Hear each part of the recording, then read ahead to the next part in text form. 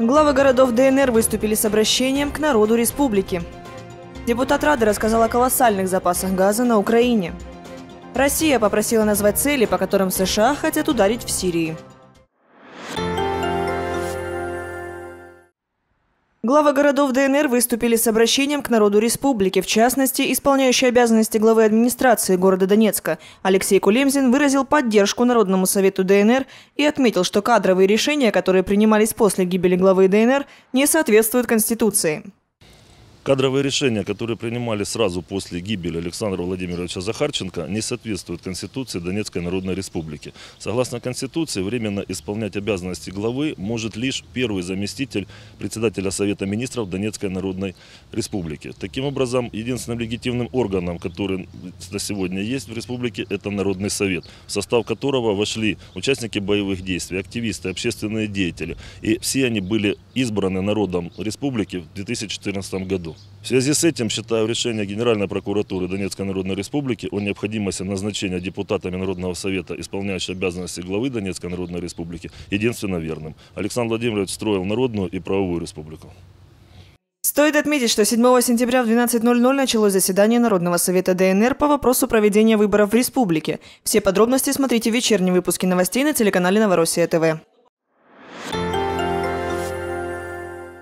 Депутат Верховной Рады Украины Сергей Тарутов в эфире телеканала News One заявил, что Киев якобы располагает колоссальными запасами газа, причем их объемы являются одними из самых больших не только в Европе, но и во всем мире. Страна имеет колоссальные запасы газа, третьи в Европе и одни из самых больших в мире.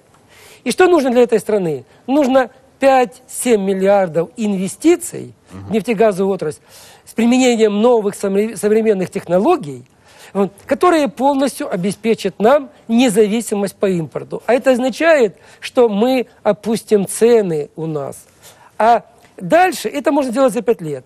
Кроме того, Тарута убежден, за 10 лет Украина и вовсе сможет не только обеспечить голубым топливом жителей страны, но и экспортировать огромные объемы газа другим государствам. Будет больше прибыли, больше будет зарабатывать бюджет и, и каждый, каждое предприятие, и человек.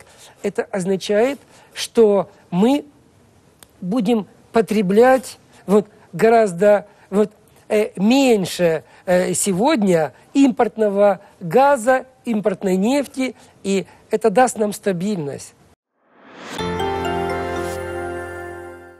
Москва предложила властям США назвать те объекты в Сирии, которые, по их мнению, могут быть причастны к производству или хранению химического оружия и направить туда представителей ОЗХО. Об этом сообщил постпред России при ООН Василий Небензи. У нас в этой связи есть конкретные предложения к американским коллегам.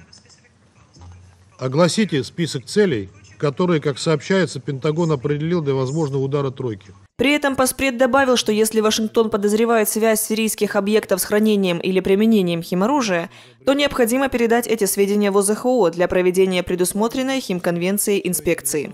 Ебензи также добавил, что России дополнительно известно, что на неподконтрольную сирийским властям территорию сложными маршрутами завезли отравляющие вещества и оборудование, которые боевики собираются использовать для провокаций. Он подчеркнул, что представители незаконных вооруженных формирований уже прошли инструктаж западных спецслужб. Белые каски уже нарисовались в Идлибе, а в самой провинции похищены десятки детей. Вместе с этим Небензи обратил внимание, что одновременно вблизи Сирии наблюдается военное присутствие ключевых западных стран, а их официальные лица выступают с агрессивными заявлениями.